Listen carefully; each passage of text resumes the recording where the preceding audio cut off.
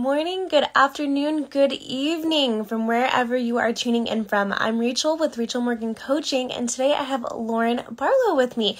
I'm really excited to have her here with me. She's actually one of the first people I met when I was getting started in my entrepreneur journey. So I'm excited to chat all about what that first year looks like. We both just passed our year, and um, a little bit about Lauren. So she is a business coach who works with female entrepreneurs to create a full body yes with strategies that they can get behind that embody their energy. So, with a background in business management, I cannot imagine a better person to discuss processes and strategies around managing your business.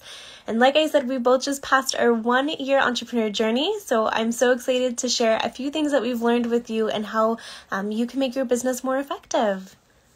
So,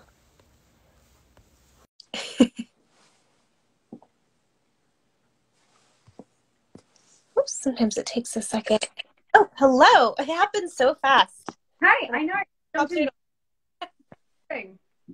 Yes, well, good morning or good afternoon for you. Yes. Good afternoon here. yeah, yes. Now tell us a little bit more about you, Lauren. Where are you from? Yeah, I'm from the UK. If you can't tell by my accent, um, it's late afternoon here. Um, yeah, so I'm from North London. Um, I studied in London as well, so I'm a London girl. Lived here all my life. Um, apart from a time when I moved to Florida, but that's a different story.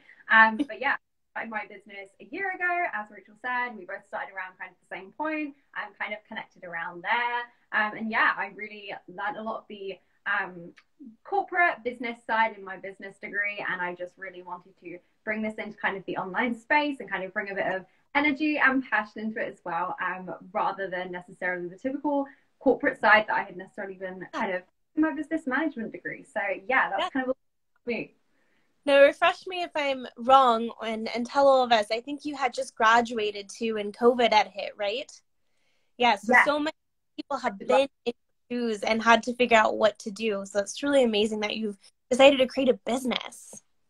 Yeah. Yeah, thank you. Yeah, it was really an interesting time because obviously graduated in the middle of a pandemic. Um, everyone around me, especially for business management, their professors and everything were very much leaning us towards a, you know, get a corporate finance job, especially nine to five, stable in the city. Um, and that didn't sound that fun to me. Um, I loved business management, but I thought there was so much more to it. The areas that I had loved in my degree and I lent my degree towards were, you know, sustainability, um, corporate social responsibility, um, gender at work. I loved kind of those issues and really talking about uh, bigger things and kind of making a bigger impact in the world. So I really loved the idea of starting from something for myself being able to bring in the aspects of business management that I'd learned, bring in some of those principles, bring in the you know, the strategies and the technical side, but being able to also bring some passion to it and bring some energy to it and just really help people make more of an impact, I feel like, with business, which is such an amazing vehicle for doing that.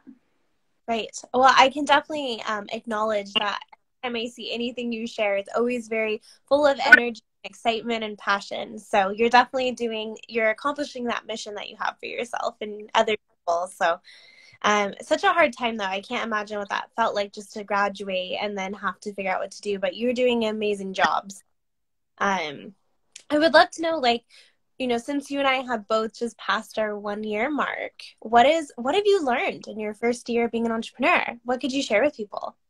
Oh my gosh. Okay. So many things. Um, so I think the first thing that I would say and kind of what I've been leaning into when I say about like building a full body yes business, something that feels really true to who you are and feels really aligned with, you know, your mission, your values, why you set this in the first place. Um, I think I would say that you don't have to do everything that you feel like you have to do.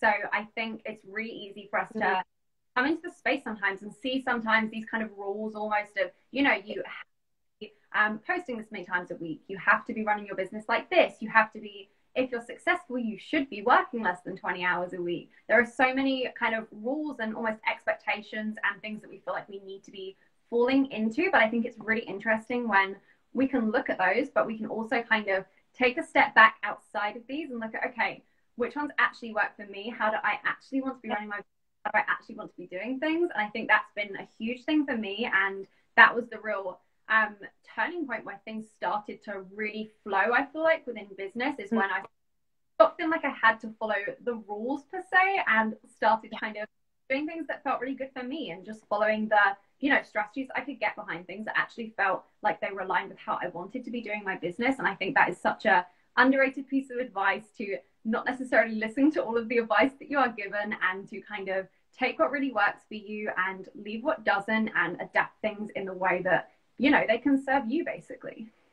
I 100% agree with that. I think, especially when you're first getting started, obviously, like you're learning the space and you're learning what it actually means to be an entrepreneur in that first year. Everyone is trying to tell you what you need and what you need, right? Like a lot of people tell you post every day. In fact, a lot of people tell you to post multiple times a day and that's fine and all when you have nothing else going on but it's not sustainable and it's kind of a burnout because you you develop this stress like I didn't post. What am I going to do? Or how do I keep coming up with ideas? Or, you know, I, I think the quality of your work times can drop and and to me like when you're posting all day what if you had a really good post it almost gets like lost right in all of the shuffle so i definitely think that's really good advice and knowing that like you don't have to listen to everyone and you really have to write for you and take your unique background into it and do something that makes sense right um i would say like the big thing i really learned is like just because you're open doesn't mean people are ready to buy yeah. You know, like I'm here, I'm ready, I'm available, but you have to like it takes time to nurture and build people up and like it, it's like the same as a retail store. I like to say like once you open the doors at 10 a.m. doesn't mean people are lined up out the door just because you're open. Like they trickle in throughout the day, right? 100%. I think definitely that's been a huge thing for me as well. Like prioritizing connections over everything because you never know what those connections will lead to. And I think um, I always remember hearing from like my parents have always been in corporate um, jobs. And I always remember hearing from them when I was younger, like networking is so important, but I wasn't really listening, you know, when I was younger, I was like, okay, sure. But like now I can really see it. And I think it's just so amazing to really build your connections and build those relationships with other business owners, other people in the space. Um, so that firstly, you're not feeling like you're alone. You feel like you actually have a around you, you have a support system around you. And secondly, you never know where you know your next collaboration is going to come from. Your next client is going to come from. Someone might refer you. There are so many different possibilities. So i think it's a piece of advice there just like really focus on connecting yeah, I think that's an excellent um, piece of advice for that first year of the entrepreneurship journey is to really just get to know people that are following you and, you know, don't see your competition as competition, but see them as a collaboration because you never know where it can lead and how you can work together, who they might know, right? Go into it with an open mind. 100% open mindedness all the way. so I would love to like pick your brain a little bit we talk so much about processes and strategies and having that strong foundation. And I think there's a lot to be learned first year on what you actually need. Um, so I would love to know, first of all, could you define for us, like, what is a process? Mm-hmm. Yeah. So I think that some of these words can sound obviously like really scary, and you're like, I don't really want to be including that because it feels like it's going to make things more complicated. But the way I would really define a process and kind of explain that to someone is it's just essentially your plan for how you're going to do something in your business. And it shouldn't be there to make things more complicated. It should be in the areas where you're wanting to make things simpler for yourself and make things feel less overwhelming, feel more manageable. Because if you can map out a process for, you know, we do this, for example, like with onboarding clients, like how you would onboard a client, you know what step one is, you know what step two is. If you can have a process for how you create your content, for example, it makes it so much easier to do this when this is a repeated task that you're going to be doing several times over. And it can just make it so much easier to actually put these into action. It makes them not feel overwhelming, not feel scary. You don't feel like, you know, you want to procrastinate them. It doesn't take as much of your energy of your energy as you're doing these things. It can just make them so much easier and it can make your business feel like running so much smoother as well. So I think they can be so, so valuable, especially in the areas where you're feeling like things are feeling really complicated. They aren't quite flowing in the way you're wanting them to. I love that. That's such a good reason on why you might want to process, right? Like things feel a little difficult and you want to simplify it. It's not meant to like add to your plate, but meant to make it easier, right? And it's really like from what I'm hearing you say is it's like an outline, right? It's I I need a step-by-step guide to help me get to where I want that's simpler, right? Like a standard almost.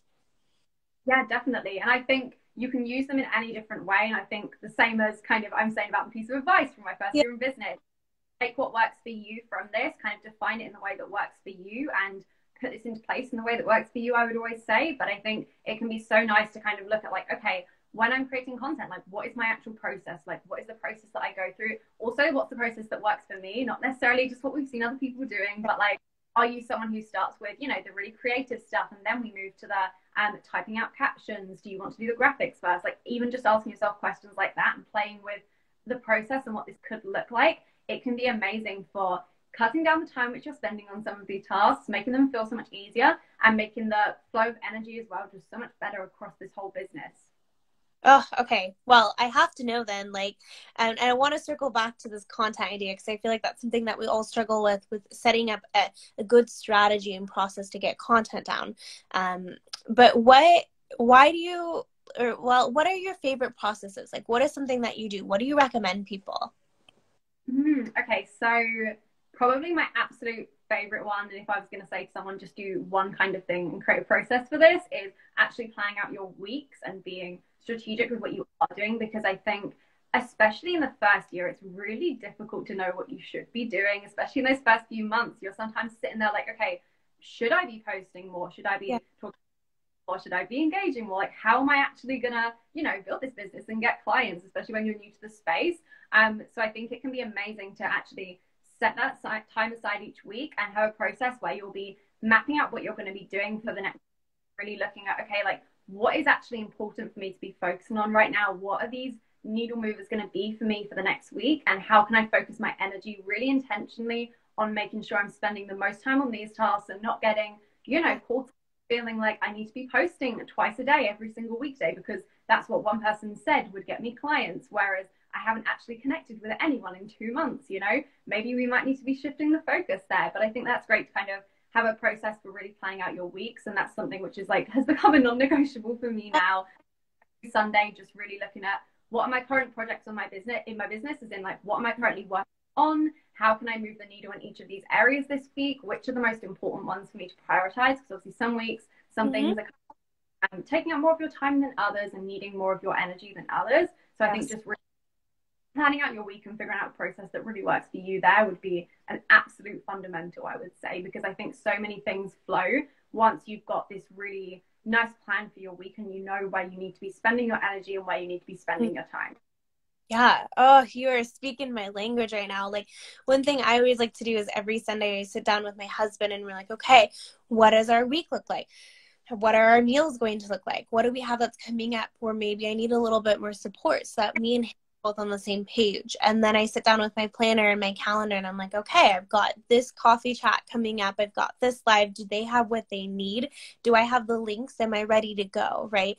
And client work, like, did I get everything done that I needed to for that? And how can I schedule that? In fact, one thing I really like to do, right, like setting priority thing is sitting down in the morning and being like, okay, well, what are my top three goals for the day? Like actually scheduling my day and literally scheduling like when I'm going to eat so that I can see realistically, can I get this done?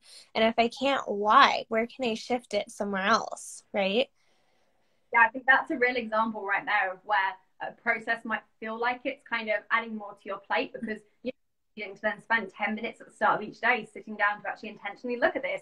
But actually, right if you look at it, actually, if you weren't doing this, it's saving you so making you feel so much less overwhelmed. It's making everything so organized, so easy to manage. But suddenly get to a point in the week and you realize, oh my gosh, I forgot to do this, and I need to make sure I do this, and feeling like you're constantly playing catch up because you're yeah. so organized.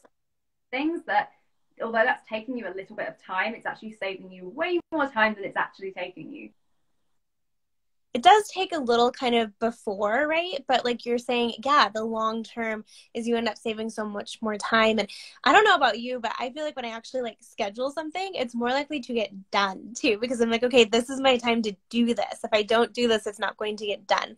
Whereas if I don't schedule something, it it might get done whenever, right? Absolutely. Yeah. If it's in here, it's happening. So, what are some other processes you feel we should look at in our business that could really help us? Yeah, so I think going back to content creation, I think because I think that's one thing that, especially in the first year of business, people can get really hung up on content and feel like, um, you know, they need to be spending half their week just on creating content. Um, so I think looking at a process for that and how you can actually make this simpler and easier for yourself can be so um, valuable. And even just looking at where your time is really being taken there. And for example, if you know that creating the graphics is taking a ton of your time each time. Is there a way you can simplify that, templates for yourself, and reuse this? Create a process that just makes this whole thing easy for you. I absolutely amazing. As well, when it comes to getting client work as well, obviously during your first year, when you're getting your first clients and you're getting to that point where you've got several clients and it can kind of hit that point of like, okay, how do I actually manage? You've never kind of, you know, managed multiple clients before. I think having a process for how you'll actually manage this workload when you're checking with your clients um, mm-hmm. and you will like, check in on Sunday, like, okay, what do I need? Like, has everyone got everything they need for this week? Everything like that. I think that can be amazing, especially during the first year. I think I would say those two are probably um, some really fundamental ones, which I think are so, so important to really that I would definitely say just for any area of business, like it's getting a bit complicated. It's feeling like it's kind of shifting outside of your control, I think it's really important to figure out what a process could be there to kind of bring this a little bit back and make it a bit more manageable. Yeah. You know, and I, I think what you're saying too when you're creating content, you had said this before, maybe one day you roll your graphics and maybe, or maybe the first step is I'm going to do my graphics. And the next step is write your body. And then maybe the third step is write your caption or like your headline. And then maybe that fourth step is go back in and do the hashtags. But maybe you even the week you start your week and you're like on Monday I want to talk about this and Tuesday this and Wednesday that and then you go back in and you do your graphic for each one and then on Wednesday maybe you do the next step like just breaking it down into little pieces so that you can get the whole thing done right or creating yeah, templates like what you yeah. Oh, sorry. Slight delay, I think. Um, but yeah, it makes it just feel so much more manageable, and as well, it really helps stopping you from procrastinate. I think because when you just, for example, write on your to-do list, like, okay, create content, and you probably will get to that, and you're like, okay, what does this actually mean? Like, what do I actually need to do for this? Um, and you kind of don't know where to start because there's so many different places you can start. Whereas if you've actually really clearly broken down what this looks like for you when it gets added to the list there's almost no excuse to not do it because it's really simple it's really easy in terms of how to go about doing this Great. Well, and I think it's really overwhelming if you're like, oh my gosh, I'm going to sit down and write out two weeks of content, right? I, I don't know about you, but I am like, the creativity doesn't always flow when it needs to, right? So I think if you step back and you're like, okay, well, what does this process look like? How can I break this down? How can I make it easier, right? And maybe come back to it when inspiration strikes or have a designated day. You know, even like we said with client work too, like maybe it's every Monday you do work and then every Tuesday you follow up, right? Um, but it's being really intentional with I'm going to do this on this day at this time and scheduling it and then scheduling around those important priorities, right? To me, that's yeah. like a way to kind of simplify.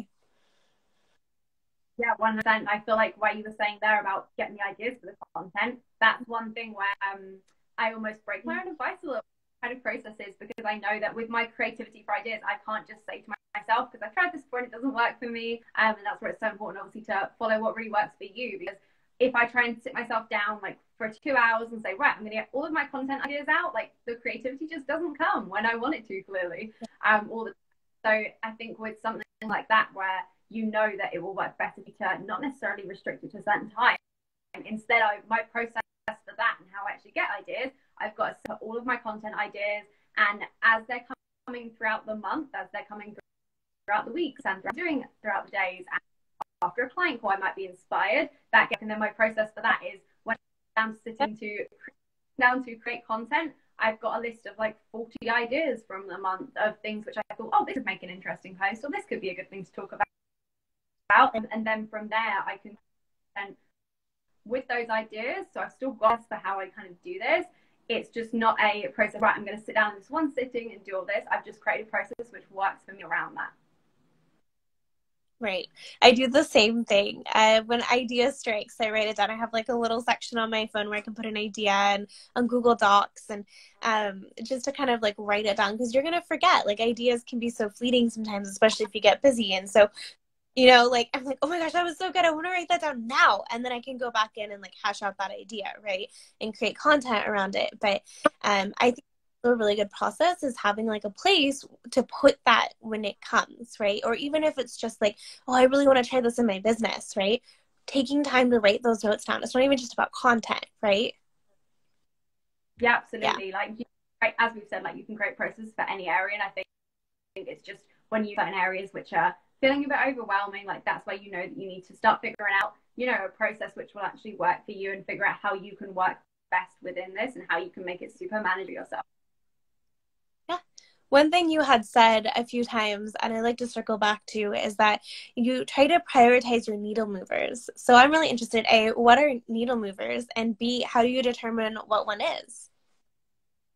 Yeah. So what I would say for that is you know what your intention is probably each month. So you know that, okay, going into this, this month, my intention is I want to sell more. Or going into this month, I want to have more collaboration. You know what your intention is. Um, say intention instead of goals because I think the goals, sometimes we almost lose what the intention is through the goals. So I think it's really important the actual intention underneath your goals are. Um, and then kind of when we're clear on what this intention is, we can figure out what those needle movers are going to be for that in terms of what is actually going to get us to that intention, what is going to help us move towards this. Mm. Um, and so when you're looking at your month and you know that, okay, my um, intention is to be signing more clients, then a needle mover would obviously be having the sales calls with the clients and, you know, building those connections and nurturing warm leads. You can figure out those essentially um, going to help you move towards the intention are. And I think they're the ones you want to be prioritizing. And it can be super easy kind of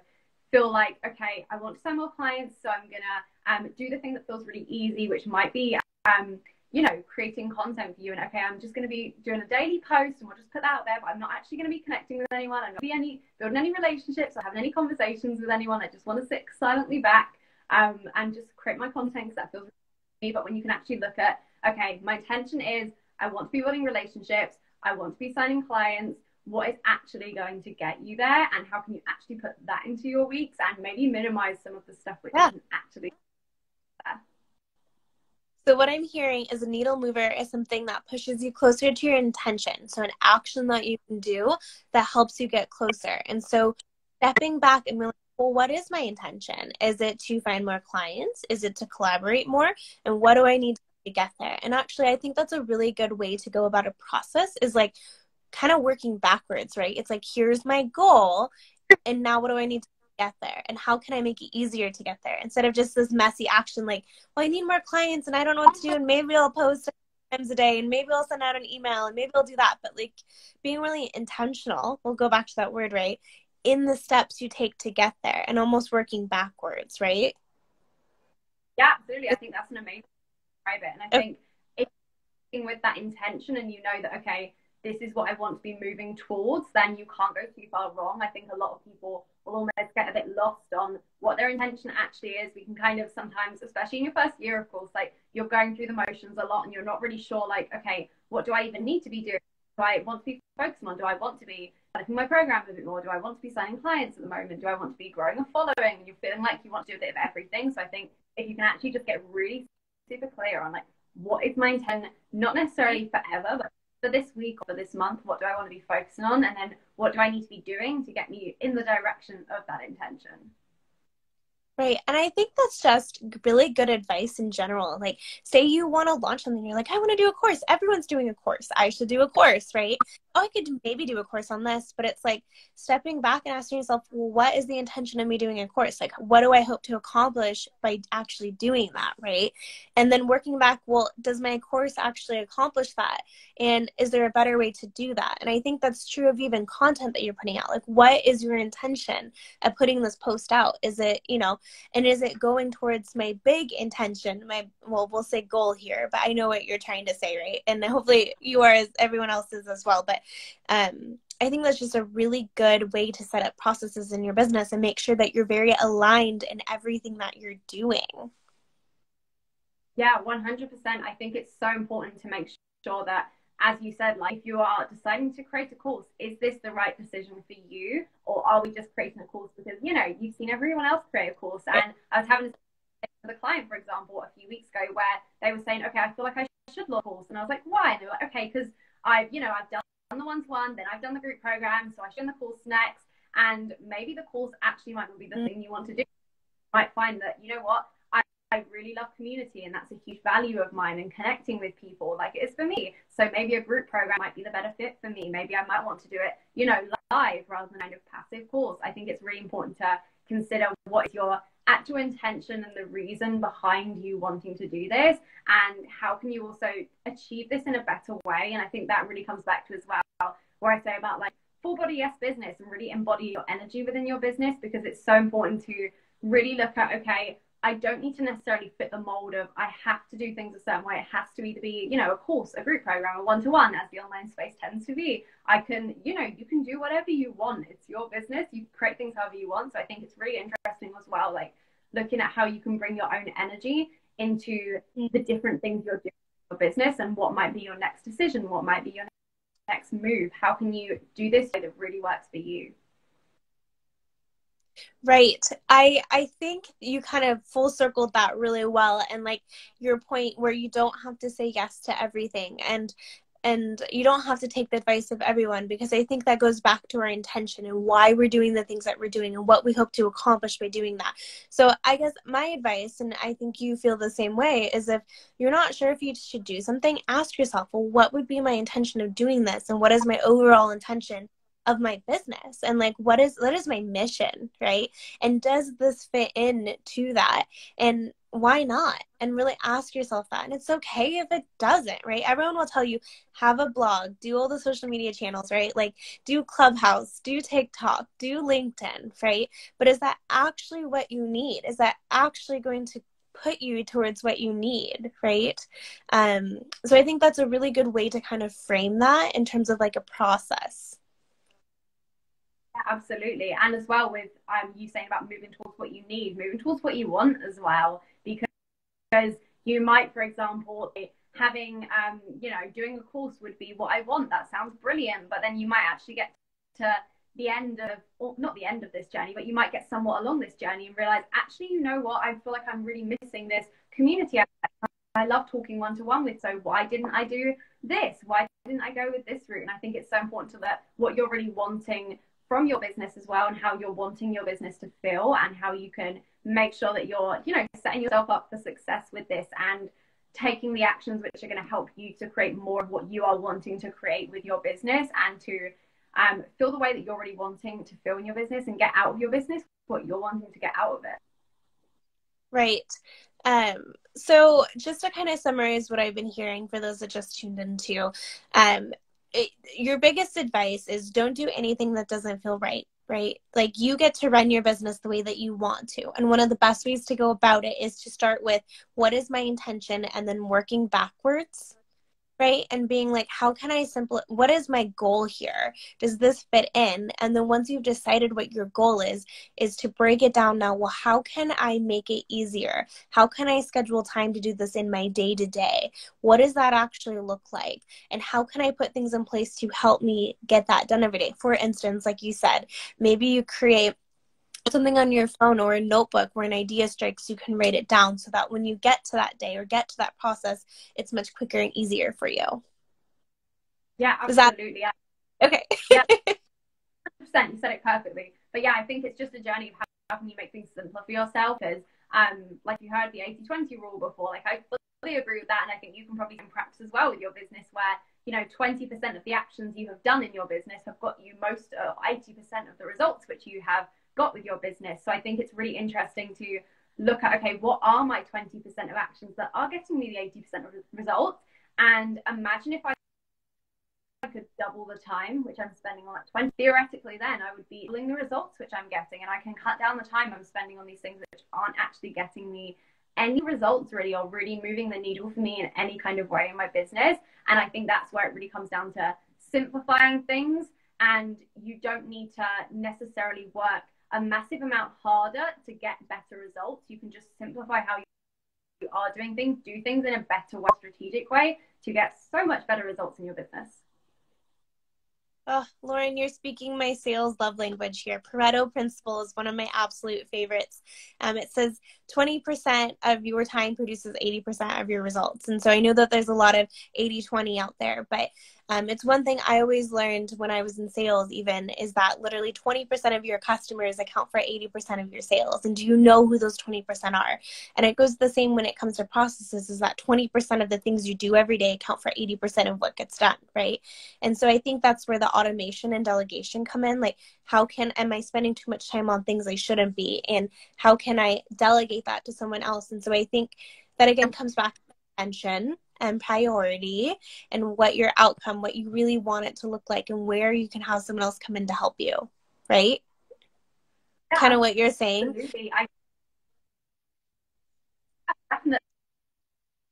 I think it's just about how can we really make things simpler for yourself, make things easier for yourself. We're not saying the whole thing isn't going to be hard work. This is simpler. We can, processes in place, we can figure out what is actually getting us the results and actually take the time to sit down and figure out what this actually is for you to move the needle and get those results so much quicker in your business, especially in your first year when you're kind of unsure with what you need to be doing anyway, um, and get those results so much quicker and get so much better as well. And like you said, um, with the sales aspects, I know you've got a huge background in sales. Um, it's about figuring out do you actually know who those 20% of customers are, get you 80% mm-hmm. of the results in the same way know what the 20% of actions or the 20% of why you're spending your time while you're working in your business are getting you the 80%. I think that's what most people are missing actual awareness of what that 20% is. And I think if you can actually sit down and look at this and figure out, okay, what has actually got results. So if you look back, for example, at your last 10 clients that you got, where did they actually come from? If you look back at the yes. um, really resonated with people? What was it that you actually talked about? What was it that you did differently? So if we can actually figure out and get awareness of what this 20% is, absolute game changer. I love that you said that. And I think that's really where like loyalty and repeat business come in is knowing who that 20% is. If you don't know who's generating your income, then how do you know how to nurture and love them and and have that repeat business, right? And just like in your process like you said is is if you've gotten this new client, do you know where they came from? Are you asking what have you done to attract them at that point? And you actually answered my question. It's going to say, well, how do you know if something is a needle mover? Um, because I think like we understand we need that, but we don't always understand like what is that? Like of course we want to keep redoing that. So maybe you have a little more you'd like to add to that but i think what you also said too um, is going back and finding out well where am i actually getting these people from and what did i do to make that happen is really important. But maybe you have something more you'd like to add. Yeah i would say around that just get curious with almost analyze it. So take a step back from the day-to-day running of your business get really curious and just almost investigate and see, okay, can I spot any trends here? Um, can I maybe reach out to my current client and hey, I'm just really curious, how did you come across me? Did they come, you, you know, through Instagram, through Facebook? Did someone recommend you maybe? And you can really then and join the dots kind of backwards and figure out, okay, what has been working for me in terms of where I have got the results and how can I then do more of these things to get me even better results in the next quarter year? Right. I, I love that you I keep saying yes, yes, yes, but I totally agree. I think there's no shame in asking someone, how did you find me and what attracted you to me? And um and learning. It's okay to be curious. It's okay to ask those questions and your clients are gonna tell you why wouldn't they, right? Like they've said yes to you already. They love what you do. You've probably built a connection with them. So it's okay to ask, right? And reflect on that a little bit and take note. And maybe you try a couple things in your business and just be observant. Do you notice that you're having more conversations with people? Do you notice that your traffic going up? Why did your traffic go up? Is it because of something happening in the world or did you tweak something recently? Like, I think it's okay to take a moment and maybe schedule the time, right? Talking about processes and setting time aside, right? To do those things. Yeah, absolutely. Yes. I think while you're saying clients as well, I've never come across a client who would not be happy to tell you that. Mm. But I think it's well, um, asking them the question of why specifically they chose to work with you. I've started doing that for the last six months, and it's been so interesting because the answer is the exact same across every single client that I've signed. It's been to do with my personality or my energy. It, has been something around there rather than, you know, saw this um, post that you did and it was super valuable. And I love these top five tips that you shared, it was no, I really resonated with your energy, your personality. Um, I felt like we really connected. It was something to do with there. So I think that's such an interesting question to ask as well because ah. you can see what is working for you. Why have people actually decided to work with you over, you know, there are hundreds of other people they could have decided to work with. maybe even thousands yeah. of people they could decide. Why have they chosen to work with you? And then you can figure out, you know, when we're talking about embodying your energy within your business as well, yeah. what do we need embodying of? What do people really connect with? What people building relationships and connections with? And I think that's such an interesting question to ask as well. What an interesting thing to think about and insight because we spend a lot of time on our content. But as yeah. you're saying now, it hasn't necessarily been what's been a needle mover for you necessarily. And, you know, one thing I always like to say is that literally anyone can copy you. They can copy word for word your post. They can copy your graphic. They can copy your name, like everything. But the one thing they can never recreate is the relationship you have with someone and that connection. And I think what you just said really proves that is that people said yes, a full body yes to you because of that relationship you had. And that just proves how you can differentiate yourself in the space. Yeah, I at least that the value post or the your top five tips or when you did a mini training. We're not saying that's not helpful because I think that is so so helpful right. and that is still for you. But the final, you know, ten percent of their thinking where they were maybe looking at five different coaches and they were saying, okay, I know that they can all do the job. They know that they're all qualified. They know they're all really good with their strategy. But why would they go with you? The final piece you said is the piece that no one else has personality, it's the energy behind that. So I think it's so important to really be aware you're creating your content as well and having actually bring my energy, bring my personality, even if that's just with some emojis or a tone of your yeah. voice, um, language, anything like that. I think it's really interesting to kind of look at that being the thing which maybe sets you apart rather than the fact that, you know, your top five tips from someone else's. Absolutely. And that just goes into being authentic and being yourself and making sure that you're writing from your point of view and not trying to copy and paste someone else. Because I always like when you copy and paste too, what if a question comes up and you don't even know the answer to it but you copied someone else's work right? So like then that just ruins your credibility if you're like i don't know right? So it's always better to write from your perspective in your way and use those emojis if it makes sense. And and you know absolutely like what you said your content is very important. People want to know what you know. And i think then adding your personality and your spin to it and the way you com like the way you interact with people really matter. And you know, when I was first starting, I had reached out to 11 business coaches and two responded. And guess what? I hired one of the two. And the second one only responded months later. That oh. matters when we're having, right? And I'm like, how did this, like, they're all online and they weren't even yeah. responding. Literally, by not responding, we're leaving money on the table. It's absolutely amazing. And, um, what was I going to say? Oh my gosh. Um, the way that we conversate over DM really does matter because you, the way you make people feel is shapes their perception of you, right? And so if you're kind and you're nice and you're building connection, people associate that with you. But if you're cold and one word answer, just like all their posts and don't even bother to respond, like I feel like you really don't have my best interest in mind, and I'm less likely to take you seriously when the time comes when I need that service. And so, it and and people speak. A lot of people know each other in this space, and so you like you and I are chatting right now, right? But you may chat with someone else that I know later, and they may be like, "Oh, that Rachel's so mean," like, and you might now feel different about me. But if I'm like, friendly to everyone and have the same standard and be myself, then someone else might be like, oh, Rachel's actually really friendly. That's really cool that you met her. And you know like it, it goes around right?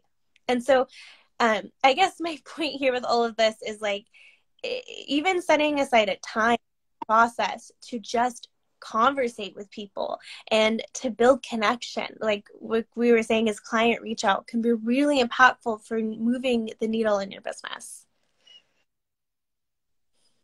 Yeah Lauren, I can't hear you.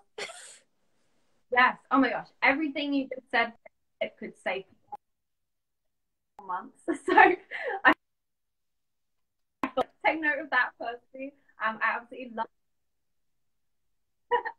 I absolutely love that. I think kind of um, people have of you and the impact that you're leaving. You said, you know, they'll forget the um, number one thing that you can do this. They might forget that, they'll forget who said that, way in which you've had a conversation with them, how you actually reached out in DMs to stories last week when you actually went above and beyond and really genuinely, really authentically, and like you would in another with another human in real life. You know, just on the internet doesn't mean it has to be any different. But I think just going above and beyond in that way leaves such a mark on people and they really remember that. And those are the memorable mm-hmm. moments where, okay, who should I hire as a sales coach? You come to mind, you know, because they're thinking of that and because they remember having this lovely conversation with you and they know that you care as a human and you're not just you know you're not just here to get a sale. You're here to make connections. You're here to um, really lives and even impact. So i think that alone as a sales tip is absolutely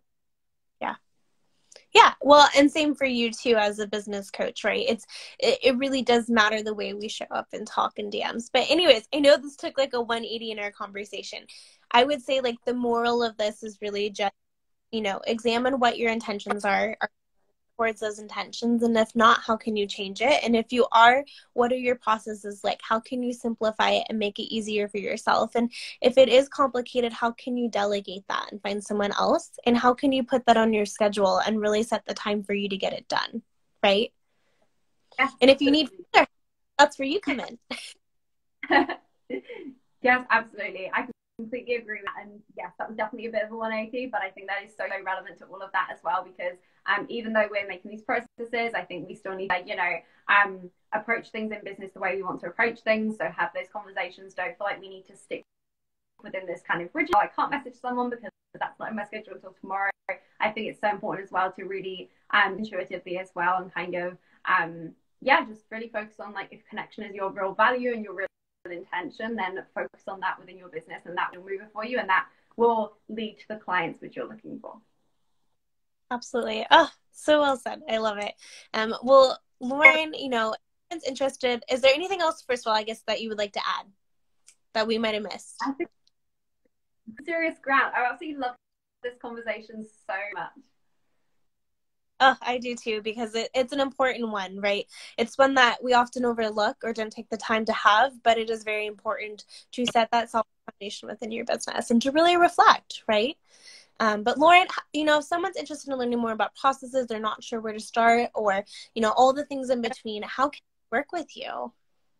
Yes, absolutely. So I have a one-to-one coaching program. It's a four-month program, um, really designed on helping you build a full body yes, really helping you to align your strategies so that you can actually um, really get behind them, bring your own energy into your business and your offers and how you are doing things, so we can run things in a simpler and easier way. Um, so yeah, that's my one-to-one coaching program in a nutshell, essentially. Um, but yeah, so you reach out to me on Instagram with any questions about processes. A little bit um, confusing, kind of as you're starting to journey into that. But yeah, my DMs are always open for connection, of course.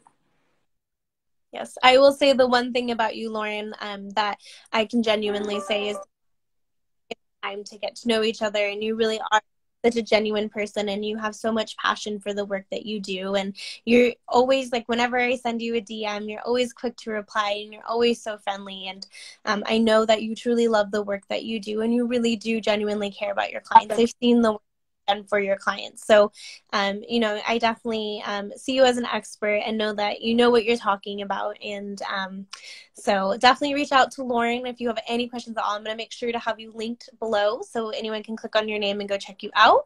And uh, again, thank you so much for listening today. Thank you, Lauren, for being here with me. I really appreciate you so much for inviting me on. This has been absolutely amazing conversation. And thank you so much for those lovely words. They've absolutely made my day. And yeah, love Aww. speaking with you. Of course, my pleasure. All right. Well, thank you so much. Amazing. Speak soon. Yes. Bye. Bye.